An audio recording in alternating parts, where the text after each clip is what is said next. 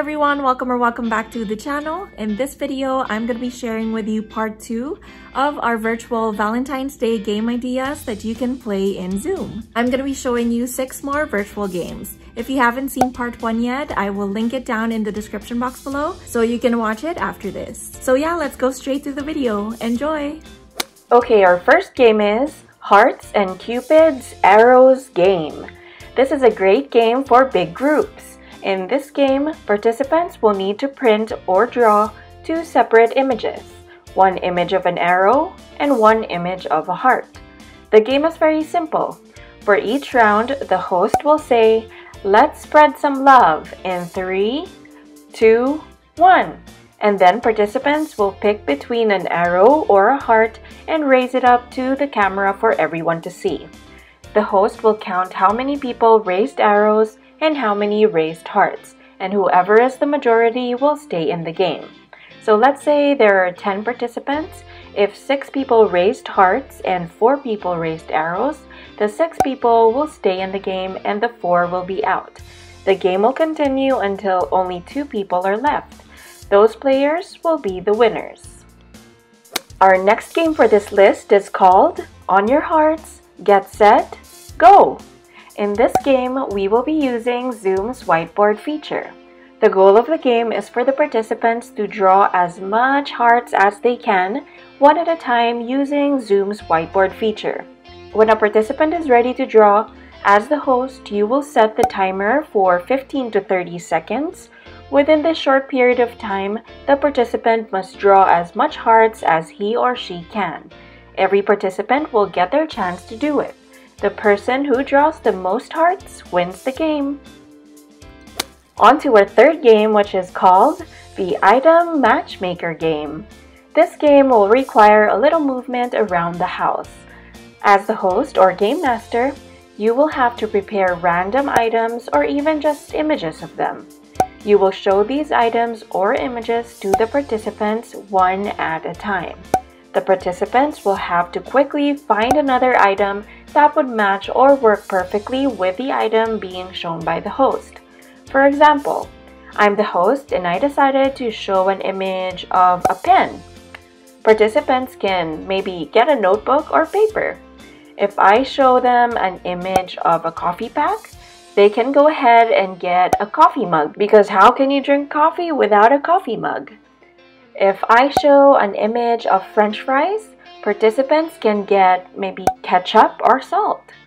The first person to come back to the camera to show the item gets a point and the one who gets the most points wins. Game number 4 is True Love Counting Game.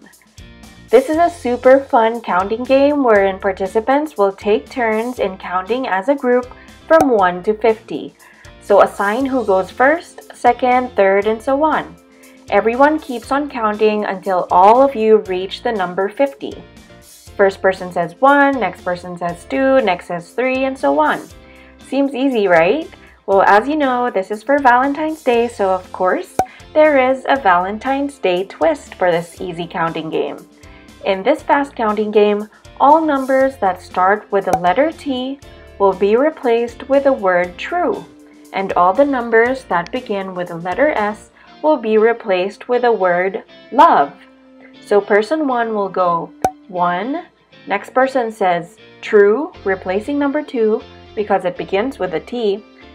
The third person will say true instead of 3. The next person will say 4, next one will say 5, next one will say love to replace number 6, and so on. So if we count to 10, it'll be like this. 1, true, true, 4, 5, love, love, 8, 9, true. It gets more challenging and more fun when you get to the 20s, 30s, and 40s because two numbers are considered as two words, so if one of them start with a T or an S, they will be replaced with the words true, love, or true love. So if the number is 24, the participant will say true 4. This is how it'll sound like for numbers 18 to 30. 18, 19, true, true 1, true, true, true, true, true 4, true 5, true love, true love, true 8, true 9, true. The person who makes a mistake will be out and the rest will continue until only one winner is left. If you want to level up, you can also count to 100 instead of just 50.